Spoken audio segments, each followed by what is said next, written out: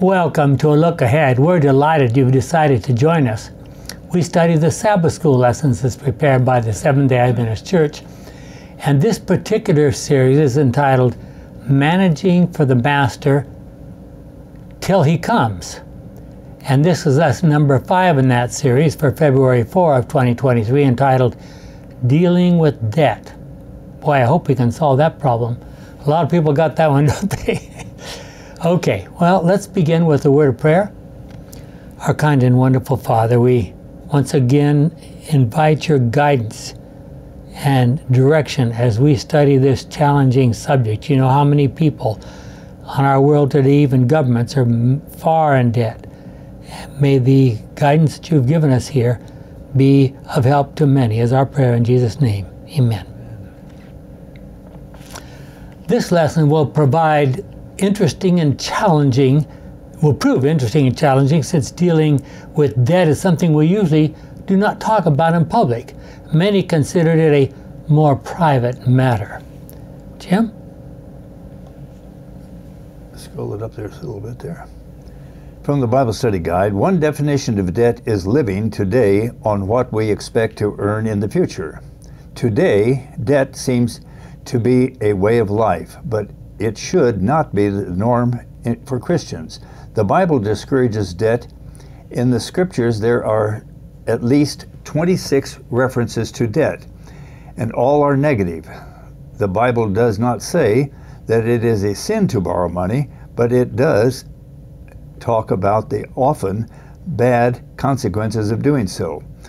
When every excuse me, when considering financial obligations, Paul counseled, render therefore to, to all their due taxes, render therefore to all their due taxes. Due to, taxes to whom taxes are due. To all their due. There's a colon there. Oh, I see. Customs to whom customs. Taxes to whom taxes are due, and custom to whom customs are due. Fear to whom fear, honor to whom honor. One, excuse me, owe no one anything except love one another. From the uh, Romans 13 verses 7 and 8 from the New King James Version. And that's from our Bible study guide for Sabbath afternoon, January 28. Writing to the members in Rome before he reached there, Paul said, Carrie? Romans 13, 7 to 8. Pay then what you owe them. Pay them your personal and property taxes and show respect and honor for them all. Be under obligation to no one. The only obligation you have is to love one another. Whoever does this has obeyed the law. And that's from the American Bible Society, 1992. Yeah, that's the Good News Bible version of the verse he just read up above. Our Bible study guide says, Why is debt an almost international scourge at every level? Personal, corporate, government. Every society has always had at least a small percentage who were in debt. But today, a much larger portion of, of people are in debt, and it's almost never to their benefit. That's also from our Bible study guide for Sabbath afternoon. One of the challenges we deal with in these lessons about finances is that almost all of the biblical statements that are used were originally given to the children of Israel. Do these promises and challenges still apply to us as a people? What do you think? I think so, yeah. Even though they were given 4,000 or 3,500 years ago to uh, people who were slaves in Egypt or on their way out of slavery, that that still applies to us? Well, there's basic principles that are applicable through the generations.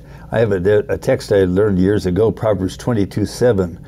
The rich rule over the poor, and the borrower is the slave of the lender. Yeah, it's coming and up we, here. We, you know, for the, uh, how many years we've been talking how critical of uh, how terrible slavery is. Mm-hmm. But what they've done with getting people to go into debt, now you you you, you you almost glad to be in debt because you, you're buy the new car that, that and you're you just lost a bunch of money go, driving it off the lot, and you're happy as, as you climb. So it's all a matter of perspective. Well, here's what uh, um, Moses said to the children of Israel, one of his final sermons, Deuteronomy 28, verses 1 and 2, and verse 12. If you obey the Lord your God and faithfully keep all his commands that I'm giving you today, he will make you greater than any other nation on earth. Obey the Lord your God, and all these blessings will be yours. He will send rain in season from his rich storehouse in the sky and bless all your work, so that you will lend to many nations, but you will not have to borrow from many. Now, our, na our nation started out as a Christian nation. I won't say it's a Christian nation now, but it started out as a Christian nation. Was these these blessings uh, applied in those days? Is that how we got to where we are as a nation? Oh, yeah. Well, our Bible study guide says studies show that there are three primary reasons that people get into financial difficulty. They are listed here in the order of greatest frequency. Carrie? The first is ignorance. Many people, even the educated, are financially illiterate. They were simply never exposed to the biblical or even secular principles of money management. There is hope, however. This lesson will provide a simple outline of these principles and how to apply them. The second reason for financial difficulties is greed or selfishness. In response to advertising and personal desire, people simply live beyond their means. They aren't willing to live in, drive, or wear what they can really afford. Many of these same people also feel that they are just too poor to tithe. As a consequence, they live their lives without God's promised wisdom and blessing. And in brackets it says, see Malachi 3.10, 11, Matthew 6.33. We'll look at those in just a moment. There's hope for these people as well, but it requires a change of heart and a spirit of content. And uh, contentment. Uh, contentment. Oh, contentment. Yeah. Okay. As a Bible study guide for Sunday, Malachi 3, 10 and 11. This is my Good News translation.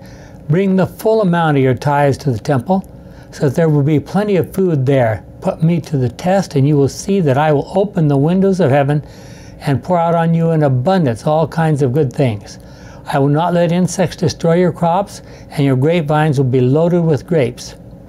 Is that all we need? Um, is to avoid the insects and have the grapes?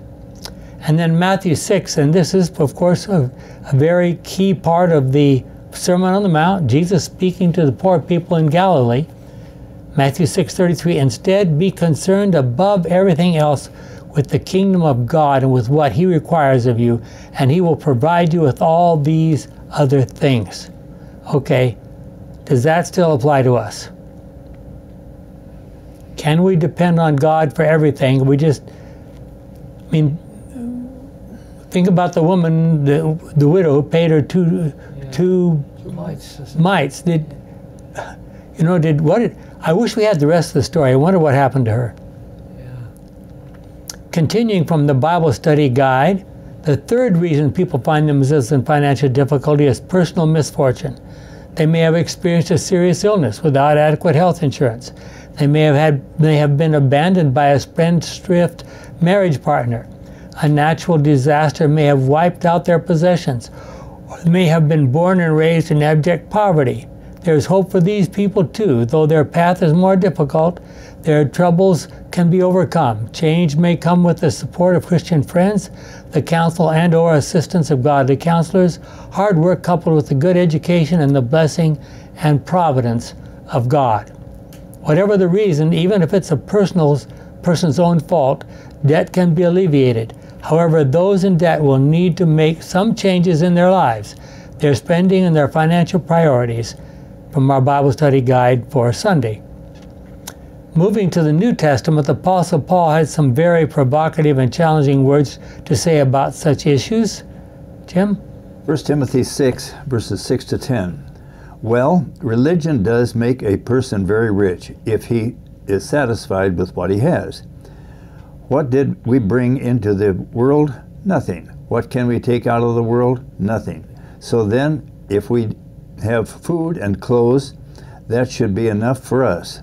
But those who want to get rich fall into temptation and are caught up, because be caught in the trap of many foolish and harmful desires, which pull them down to ruin and destruction. For the love of money is the source of all kinds of evil. Some have been so eager to have it that they have wandered away from the faith and have broken their hearts with many sorrows. What does the Lord purge? Says, ask, ask for the daily bread. Yeah. I mean, he, he, he didn't see big storehouses of, and, uh, Doesn't you don't pray for a palace? no. How do you think this advice fits into the wor- our world situation at the present time? It seems that material things and wealth are in are an rather incredible allurement. Why is that? Think of all the people who spend a lot of money betting on the lottery. But do we idolize money, making even a religion out of it? Some bad people do. Yeah. What, what is the relationship among our, religi- our religious beliefs, our religious practices, and, finan- and our financial issues? Carrie, you want to do that one for me? Matthew Yes. 6? Matthew 6:24 No one can be a slave of two masters. He will hate one and love the other. He will be loyal to one and despise the other. You cannot serve both God and money. And that's from the Good News Bible. I John and what's that? 1 John 2:15. Do not love the world or anything that belongs to the world. If you love the world, you do not love the Father. Again from the Good News Bible. So, why is the love of this world and its monetary benefits so strong? Where does that love come from? Solomon had some interesting comments in that regard. Ecclesiastes 4:8 says, Here is a man who lives alone. He has no son, no brother, yet he is always working, never satisfied with the wealth he has. For whom is he working so hard and di- denying himself any pleasure? This is useless too, and a miserable way to live. It reminds me of a story I read about a number of years ago. A lady just lived a poor, poor, poor life. She worked hard. She made pretty good money. She was intelligent and so forth like this. And when she died, they discovered that she would she had willed 22 million dollars to a school. Well, be thankful for that, but man alive. In previous lessons, we have seen that God has challenged us to first pay our debts to Him, including particularly the 10% for tithe. David had some comments about that. Psalm 50, verses 14 and 15. Offer unto God thanksgiving, and pay thy vows unto the Most High. And call upon me in the day of trouble, I will deliver thee, and thou shalt glorify me. That's from the King James Version. Many of us can hardly remember the time when we were baptized as members of the Seventh day Adventist Church. However, if we look back at our baptismal vows, you'll discover that you pledged to pay a faithful tithe and to give generous offerings. Is that pledge still applicable today, many years later? Well, many years ago, I saw um, some kind of an official thing. I don't know who did it or, or exactly how authentic it was, but it claimed that only 25% of Adventists were paying a faithful tithe. Ooh-wee. So, what would happen if we all paid the faithful tithe? There is, of course, no problem with working hard and make a reason, making a reasonable living. That is not the same as making an idol out of wealth or money. In our day, there are issues with which the ancient Israelites did not have to deal. Jim, you want to try that? In ancient times, families lived together for several generations. The older members were supported by the younger members. That is not often true to, in our day. So, how are we to know how much money needs to be saved for retirement? While many governments in, their, in our day provide retirement benefits, in many societies those funds are barely enough to survive on. How does God want us to relate to that issue? Proverbs 22 7. Poor people are slaves to the rich. Borrow money, and you are the lender's slaves. There's your verse, Yeah. Jim. Years ago, when I'd advertised that, I says, "Stop slavery," and I put uh, Proverbs 22 7 in the ad. Do you agree with that premise? Our Bible study guide has a premise with three state for, straightforward steps for getting out of debt. Okay, Carrie, I guess you do get to teach us how to get out of debt. Okay. The premise is a commitment to God to be faithful in returning His holy tithe to access His wisdom and blessing. He is eager to bless those who obey Him. Step one is to declare a moratorium on additional debt, no more credit spending. If you don't borrow money, you can't get into debt. If you don't borrow any more money, you can't get further into debt. sort, of, sort of an obvious conclusion, isn't it? Step two is to make a covenant with God that from this point on, as He blesses, you will pay off your debts as quickly as possible. When God blesses you financially, use the money to reduce debt, not to purchase more things. This step is probably the most crucial. When most folks receive unexpected money, they simply spend it. Don't. Instead, apply it to your debt reduction plan. Step three is the hands on practical part. Make a list of all your debts from the largest to the smallest in descending order. For most families, the home mortgage is the top of the list, and a credit card or personal debt is at the bottom. Begin by making at least the minimum payment due on each of your debts on a monthly basis. Next, double up or increase your payments in any way you can on the debt at the bottom of the list. You'll be happily surprised how quickly you can eliminate the smallest debt. Then use the money that you are paying on the bottom debt to add to the basic payment on the next debt as you work your way up the list. As you eliminate your smaller high interest debts, you'll free up a surprising amount of money in place to the next higher debts. That's quite a quite a, plan anyway. Yeah. God clearly doesn't want us in debt.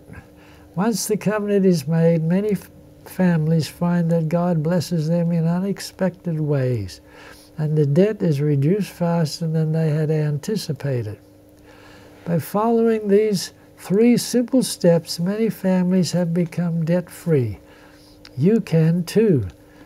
By putting God first, you'll receive His wisdom and blessing for managing what He has entrusted you.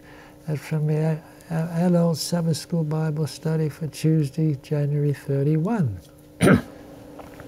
so, what would happen if a large group of Seventh day Adventists were able to complete this plan and then add to their giving to the church? What, I mean, basically, this is a this is a question we, we need to think about. It's a it's a challenging one. Yeah. Obviously, you know, I, I think about the fact that a couple of, of things that I, I, I, learned from, from doing research in the past. I won't go into all the details, but there was a, a, a gentleman who became, he and his family became Adventists in South Africa. And um, at the time, uh, in fact, before he became an Adventist, he was a very successful merchant. He owned a number of different shops, and he owned, owned some huge eh, pieces of property down there in South Africa. A lot of it out in what they call the outback, you would call it in, in Australia, but big chunks of property that almost nobody lived on, nobody knew much of what was out there. And then he he started, and I won't go into the details. He started doing some some things that were not according to guidance. Ellen White started writing him a letter saying, you know, you shouldn't be doing this, you shouldn't be doing this and he started losing money. He started losing money. He started selling his property. He started losing until he was almost bankrupt. And later on, he discovered that one of the pieces of property that he had previously owned had the biggest diamond mine in the world. What? Imagine if that had still been in the, you know, belonged to the Seventh Day Adventist Church. You know, that would be more than probably just the tithes from that would be more than the entire income of the Adventist Church. Well, when, when I think of at home at times of what that's led into, if there was more money put into the church, I think of immediately of uh, there's always people in our community that are hardly got enough money for food. and you look at uh, the outfit that's up there in uh, uh, just around from Sacramento that design all the churches and that over in Africa, anywhere that they can get. Yeah. That's the kind of thing that kind of Yeah. money can really get into. Yeah, it would certainly it would certainly make it possible for the church to build a lot of additional um, buildings and so forth in places that uh, where where you know money is very short. Yeah. Well, how can we apply the words in Hebrews 11? Uh, he, I'm sorry, Hebrews 13:5 to our lives today? Hebrews 13:5 says, "Keep your lives free from the love of money, and be satisfied with what you have. For God has said, I will never leave you; I will never abandon you." How's that for a promise? Yeah. There are two traps that God warns us against quite against quite strongly. The first is allowing ourselves to be surety for someone else's debts. Jim, you want to try that one? Proverbs 6, verses 1 to 5. Have you promised to be responsible someone for someone else's debts, my son? Have you been caught up by other excuse me, caught up by your own Words. words, trapped by your own promises? Well then, my son, you are in that man's power. But this is how to get out of it. Hur- hurry to him and beg him to release you. Don't let yourself go to sleep or even stop to rest. Get out of the trap like a bird or a deer escaping from a hunter, from the Good, Good News Bible. That's pre- pretty clear, isn't it? Yes. Yeah. Uh, pretty, it's going to be Proverbs uh, 17, verse 18. Only someone with no sense would promise to be responsible for someone else's debts. From the Bible Study Guide, surety usually occurs when a person with poor credit seeks a loan from a lending institution and does not qualify for the loan. The loan officer will tell the unqualified person that if he or she will get a friend with good credit to co-sign with him or her, then the bank will grant the loan and hold the co-signer responsible in the event of a default from the Bible Study Guide for February 1. So if you become surety for someone else's debt, be aware that studies show that 75% of those who co-signed end up making the payments. Yeah. Yeah. A second trap Christians should avoid is sometimes called a get-rich-quick scheme. Look at 1 Timothy 6, 9, and 10. Let's look at that for a moment. But those who want to get rich fall into temptation and are caught in the trap of many foolish and harmful desires, which pull them down to ruin and destruction. For the love of money is a source of all kinds of evil. Some have been so eager to have it that they have wandered away from the faith and have broken their hearts with many sorrows. And Proverbs 28 20, what is the, re, one, what is the war, warning noted? Um, Carrie? I'll take it. Honest people will lead a full, happy life. But if you are in a hurry to get rich, you are going to be punished. It's from the Good News Bible. Get rich schemes are another financial trap. they are almost guaranteed to lead to financial ruin for those who get caught up in them. When it sounds too good to be true, it surely is. Many people are hurt emotionally and financially. An additional tragedy with these devious plans is that, in many cases, individuals have had to borrow money to become involved in them in the first place. Many lives and families have been ruined by get rich quick schemes that end up enriching only the con artists who devise them at the expense of those who fall into their lap. They're trapped. ske- oh, trap. Of these schemes. I've got these uh, green lines running through it. Sometimes it gets you. Uh, don't walk, run as fast as you can. That's adult Sabbath School Bible. Yeah, when a friend or even a loved one tries to pull you into one of these schemes, run, don't walk.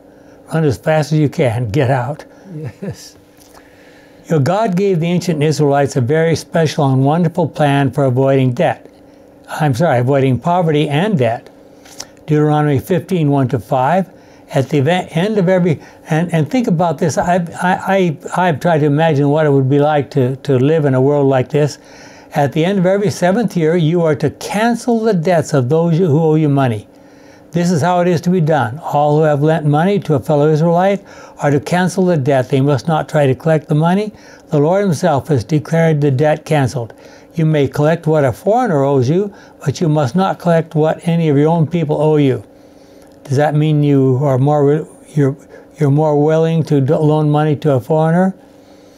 The Lord your God will bless you in the land that He is giving you. Not one of your people will be poor if you obey him and obey, carefully observe everything I have commanded you today.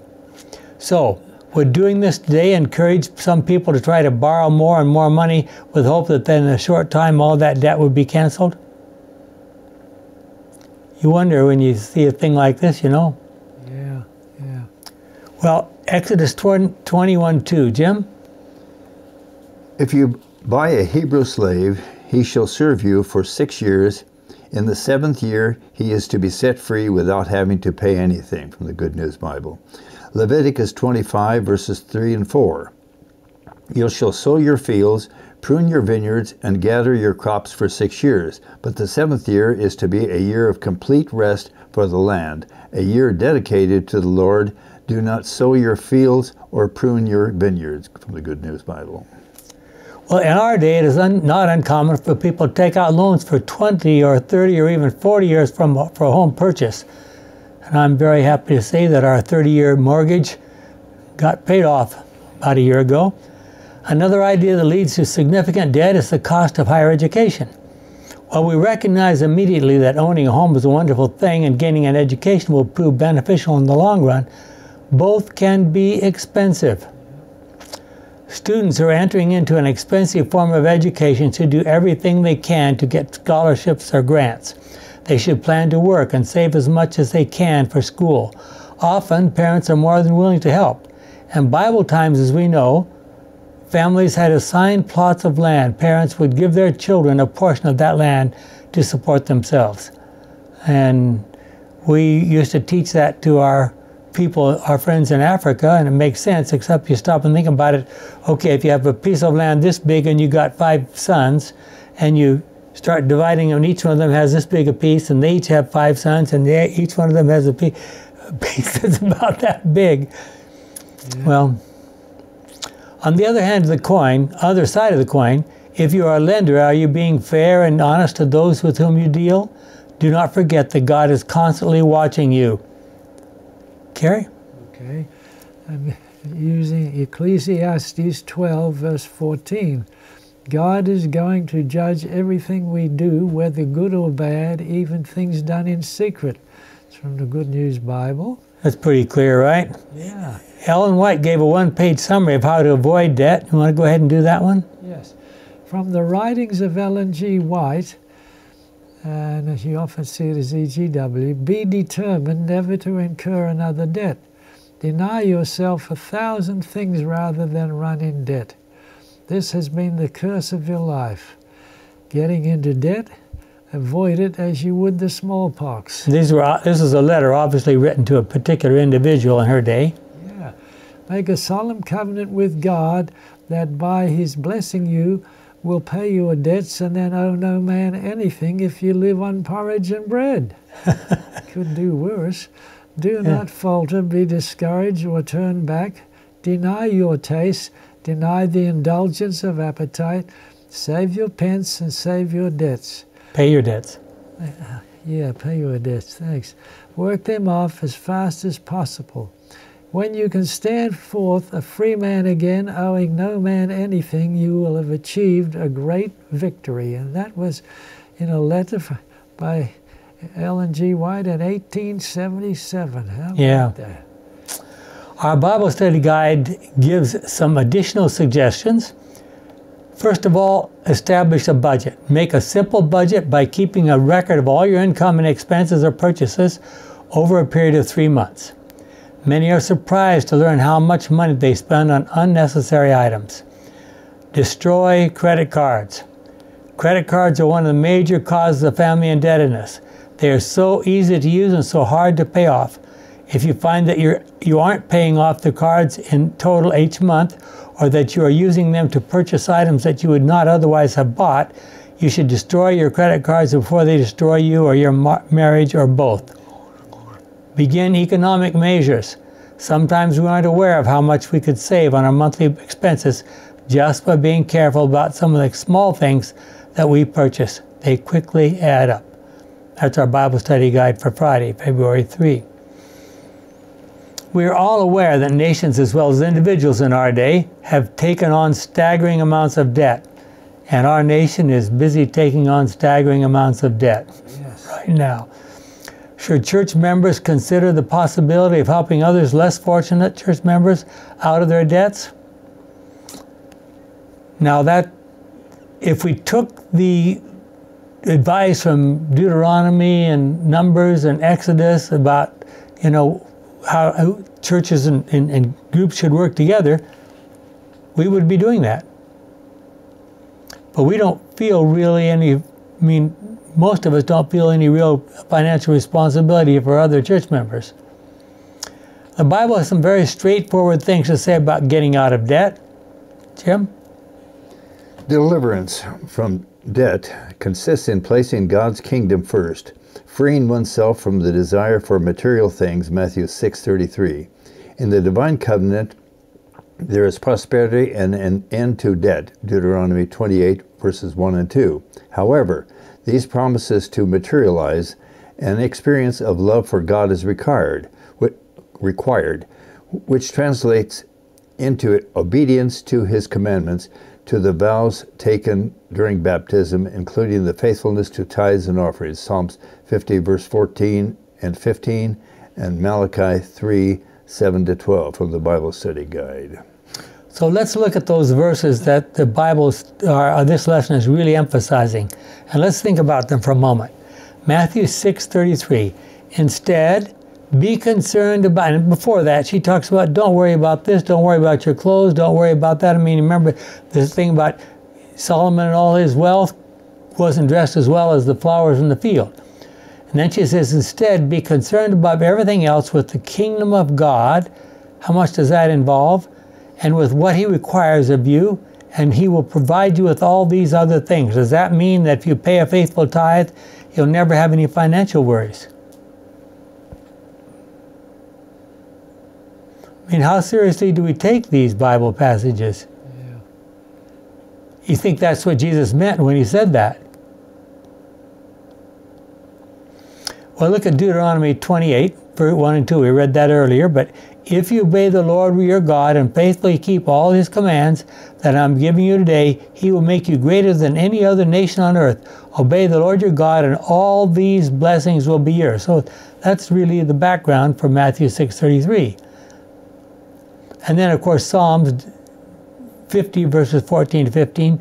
Let the giving of thanks be your sacrifice to God, and give the Almighty all that you promised. Call to me when trouble comes, I will save you, and you will praise me.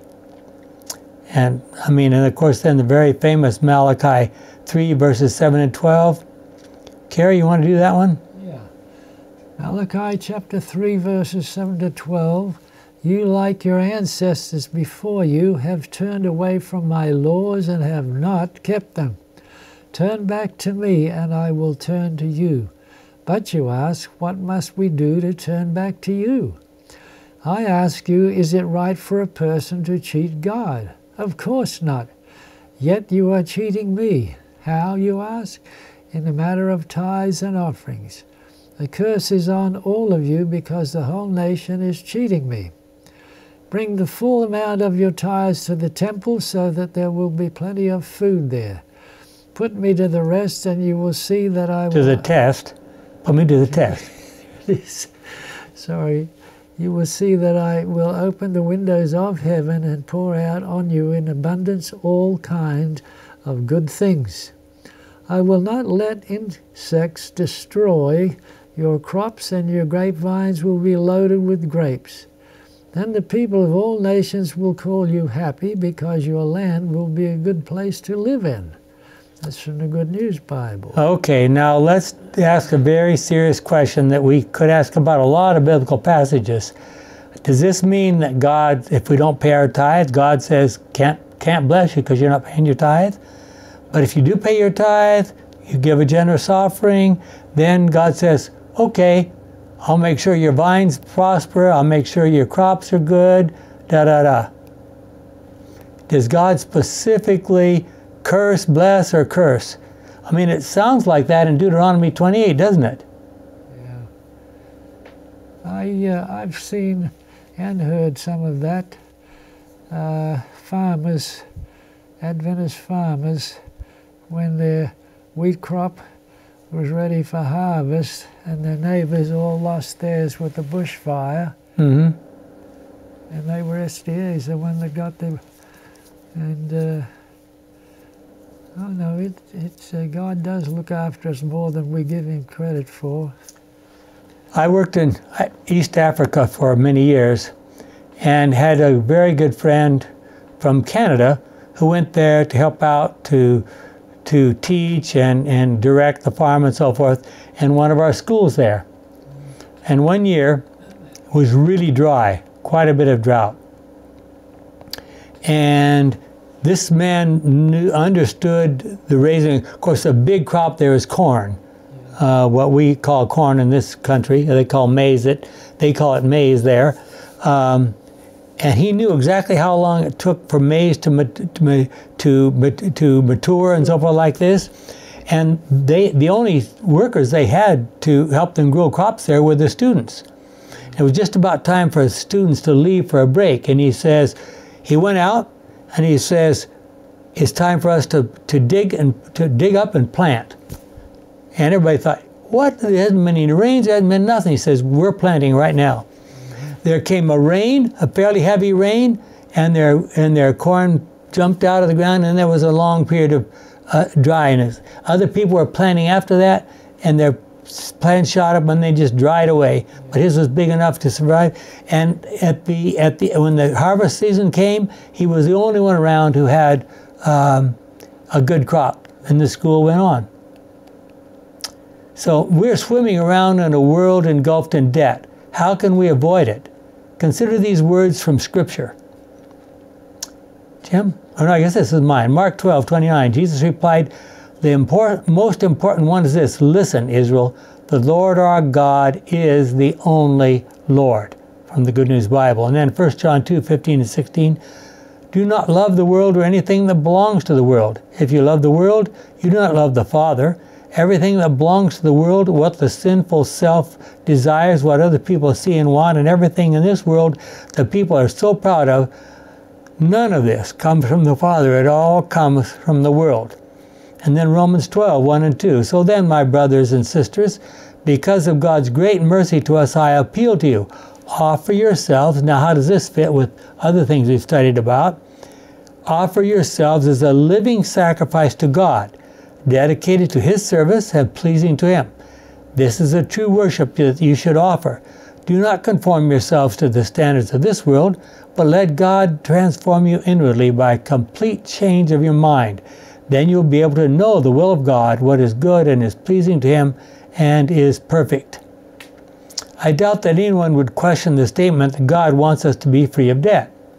I mean, debt isn't, nobody really wants debt, I don't think they might want what they what they can get with the money they can borrow, but they don't like the debt.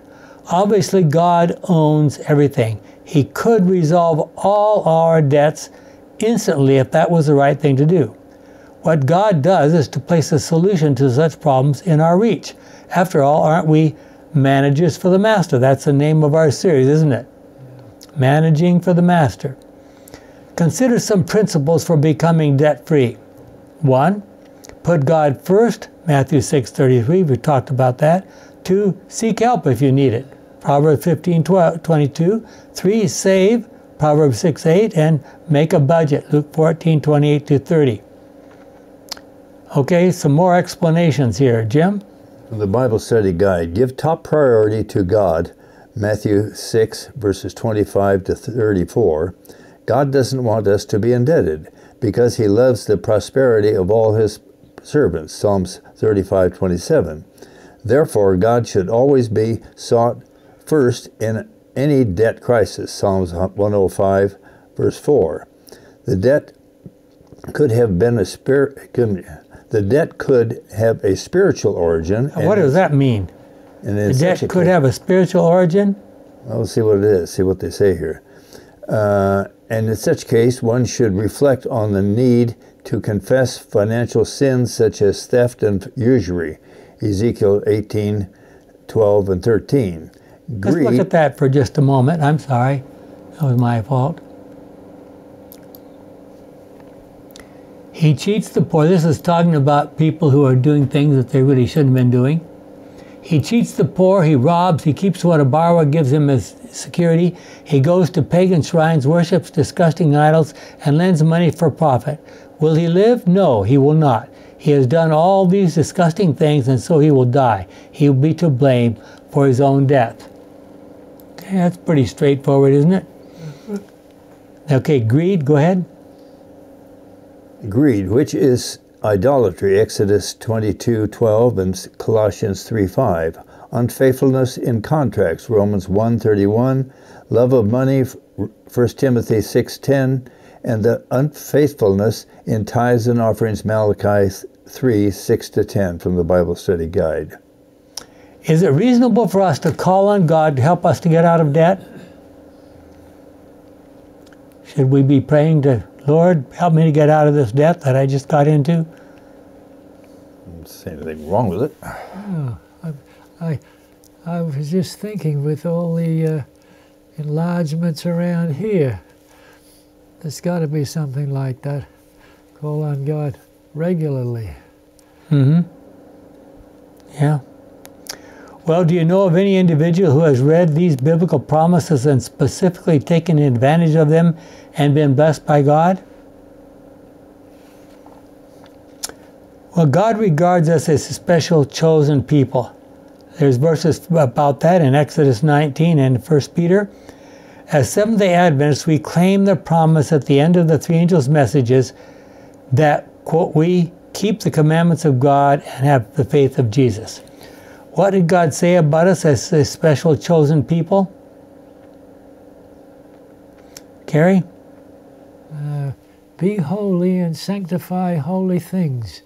In the Bible, God views his people as holy, chosen, and special. That's Exodus 19.6.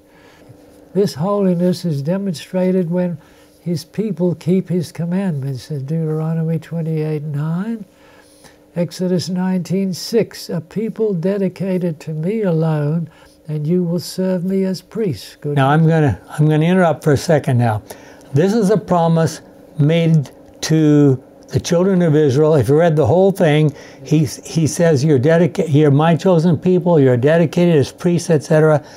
That was before, just before he spoke the Ten Commandments from Mount Sinai, and we asked earlier the question okay, did these promises made to God's people so long ago to the children of Israel, do they still apply to us?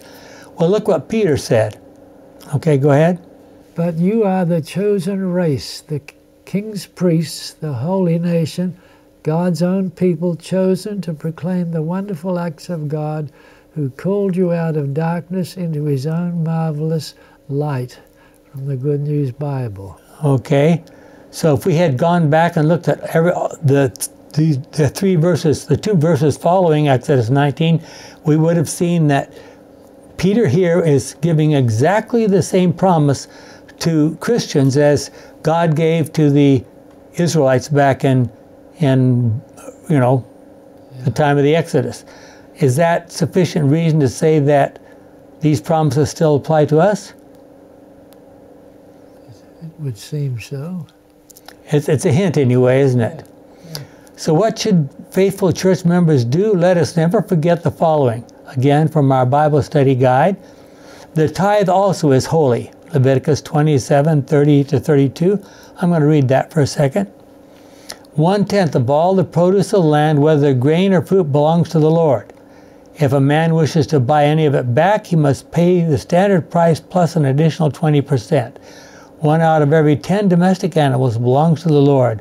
When the animals are counted, every tenth one belongs to the Lord. So they, they had to run them right past one by one past the past the the priest. Okay, every tenth animal, one, two, three, four. The tenth one belongs to God, and if for some reason um, a person decided he wanted to keep one, oh, you could you could buy it back by by paying an extra amount. And the offerings are holy. Numbers 18:29. Give it for the best that you uh, give it from the best that you receive. That's an offering. In these texts, the word holy is kodesh. So the tithe and offerings are kodesh, which means sanctified or set apart for the Lord. To, to withhold the tithe and offerings is to misappropriate sacred things or holy things that have been dedicated exclusively to God and thus must be returned to Him. In the Old Testament scriptures, restitution for withholding was required before atonement with blood could be taken could take place and before the withholder could receive forgiveness. And if you remember, what did Jesus say about if you owe somebody something and you had you're on your way to the temple, what are you supposed to do?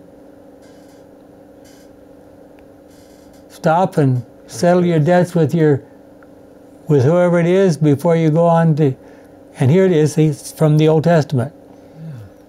Um, in the Old Testament scripture, restitution, I'm sorry, as such, when the people withheld tithes and offerings, they separated themselves from God and failed to prosper. For they had profaned holy things. God doesn't change.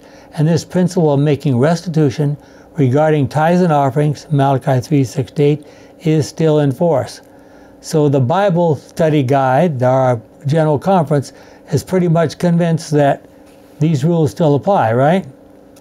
And one thing that you will probably notice by now in these lessons that we have been doing, and it, it continues to be even more so, um, this is very clear. It's the it's the general conference saying, and I, am not arguing with the fact that they're that they're following scripture. They're using voice and so forth, but it's very clearly making of an intentional thing to say we owe our debts to God. Please don't fail to pay your, your share to God. And of course, it might seem a little bit uh, self serving from the church organization to make sure that everybody pays their tithes and their offerings, but uh, I think it's true. We should seek help regarding debt. We've already looked at that before, but look at this uh, Proverbs 15 22. Get all the advice you can, and you will succeed. Without it, you will fail. From our Bible study guide again solicit counsel from friends and professionals. Sometimes it is necessary to acknowledge the condition of, the condition of indebtedness and to seek help from friends and family. Treatment must be sought in case of debt caused by a psychological disorder Oniomania. Okay, you word experts, what's oniomania?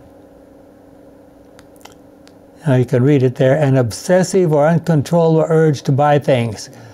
Did you ever run across anybody who was like that? No, not quite the same. Yeah. Uh, I've seen people with difficulty trying to sell stuff, and it got them in the uh, psych hospital after a while. Uh, Why were they trying to sell? Uh, I think he was in confectionery and stuff like that.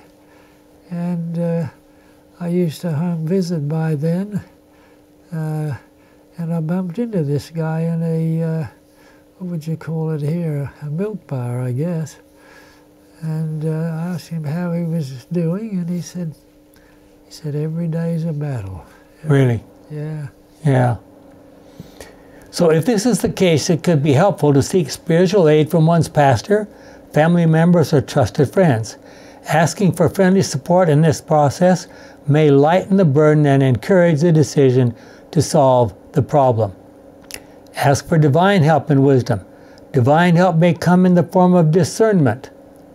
In the Bible, wise management is a gift from God. The wise man declares that, quote, by knowledge shall the chambers be filled with all precious and pleasant riches. Proverbs 24 4 emphasis applied. Just as the apostle recommends to covet earnestly the best gifts, 1 Corinthians 12 31, and of course, What gifts is he talking about in 1 Corinthians 12? He's talking about spiritual gifts. He's talking about prophets and apostles and all those kind of things. But sure, I'm, it probably applies to material things as well. We also can ask God for wisdom to take care of our finances, especially in times of economic hardship. This search for wisdom is recommended by James, James 1, verse 5. That's from our Adult Teacher Sabbath School Bible Study Guide, page 67. We in this country have gone many, many, many years without a significant uh, recession, lengthy recession, or, or, or really depression. What would what would happen in this country if, if we had a real depression? Oh. I just wonder what in the world would happen. Yes. With all the people here and people just barely making it. Yes. Un, under the best of circumstances, what would happen if we had a depression? People are seriously talking about a major recession. Let us consider what inspired counsel said about saving. Proverbs uh, 6 8. Jim? Well, the Bible Study Guide, be like, the and excuse me, maybe we should go ant. back and read our our, our passage here, um, Proverbs six eight. You remember what that says? Go to the ant, thou sluggard. sluggard yeah. Consider her ways and be wise. Okay. Go ahead. Be like the ant that in the summer prepares its food for winter. Always set aside some money for your savings. Include in the budget a regular percentage dedicated for this purpose from the Bible Study Guide. Okay. What would happen if everybody did that? Wow. Clearly, one way to avoid serious financial problems is to have a plan for savings. The clearest example of an enormous savings plan is the story of Joseph in Egypt. What did Joseph do? He interpreted the dream, and the dream says there's going to be years of plenty, seven years of plenty, and he stored up so much they couldn't even they didn't even know how to count it anymore. And then when Egypt was able to feed a large portion of the Middle East during the famine that by saving up the blessings of grain that God gave gave it during those seven years of plenty. Okay, so make a budget. Um, guess that's mine. If one of you is planning to build a tower, you sit down first and work out what it will cost to see if you have enough money to finish the job. If you don't, you will not be able to finish the tower after laying the foundation, and all who see what happened will laugh at you. This man began to build but can't finish the job, they will say. Budgeting is an important tool for every family. We should not be surprised at all to learn Jim? From the Ellen White, you ought to be careful that your expenses do not exceed your income. From the Adventist Home, page 375, paragraph 4. You almost chuckle at that, you know. Yeah. You be, be careful that your expenses do not exceed your income. Well, of course not. I mean, you know, um, perfectly good advice, but how often do people ignore that? Yeah. Careful budget should be made following careful thought, carefully thought careful thought and prayer. Be realistic, plan for some emergencies or unexpected expenses. Do you think that if you put God first in everything, He will give you more than you need so you can share with the more needy? How do you feel about the following quotation? So, if we specifically make a budget and we set aside some for savings and we have money, does that give us, does God bless us so we'll have money to to give to the poor and the needy and to pay our tithes and our offerings and so forth. Okay? I guess that's Carrie's. Yes. Many, very many, have not so educated themselves that they can keep their expenditures within the limit of their income. They do not learn to adapt themselves to circumstances and they borrow and borrow again and again and become overwhelmed in debt and consequently they become discouraged and disheartened. That's from the Adventist Home, Ellen White. Uh, in the divine covenant, covenant rather, God promised that his people wouldn't be indebted to others. Deuteronomy 28:1. He also established the release the release rather of the indebted from their creditors every seven years, Deuteronomy 15, 1 to 4. The divine model was not to have poverty in order, not to have debt, Deuteronomy 15.4. Why was the divine model for Israel in terms of debt not fulfilled? Malachi 3, 6 to 10. And what does Malachi 3, 6 to 10 tell us? In what ways could this be happening to us? Explain how do we avoid this pitfall in our day? Remember how Malachi 3 says, Bring your all the tithes and offerings, bring it into my storehouse. If you want if you want me to bless you, pay pay what you owe me, right? Mm-hmm. Okay, some possible sources of debt. Debt that is beyond our control caused by natural catastrophes, illness, or wars. That's A. B, personal vulnerability, which comes from lack of financial wisdom or experience, ability, or instruction. C, complacency as a result of bad habits, boasting, and wastefulness. So, which one of these things is the biggest issue in our day? Necessary debt, which may occur because of certain business investments, home ownership, and children's education. Some of these sources of debt probably cannot be avoided, but some can.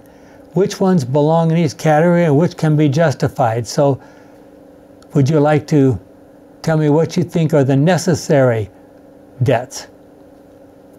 What are necessary debts? Well, certainly home ownership was probably a necessary debt. Children's education is a necessary debt. What other, what other necessary debts can you think of? Well, an ongoing one for food. You've got to make sure you've got adequate clothing. Those probably don't require you to actually go in debt, Sometimes a vehicle can you have yes. to go in debt to pay for a vehicle. That the things that can we go into debt for in general in our day are are things that are large, expensive, more expensive things. And then there's a whole lot of things we can go into debt for that we don't really need, right? Yeah. So we encourage you to think about what we've studied in this lesson. There's some good advice, um, and make a budget. Stay within that budget. Let's pray. Our kind and loving Father, we thank you so much for the privilege we have of serving you. Help us to be wise in, the, in managing your funds. We do it for you, and, and we know that without you we would have nothing. We wouldn't even be alive. So help us to use our money wisely, is our prayer in Jesus' name. Amen. Amen.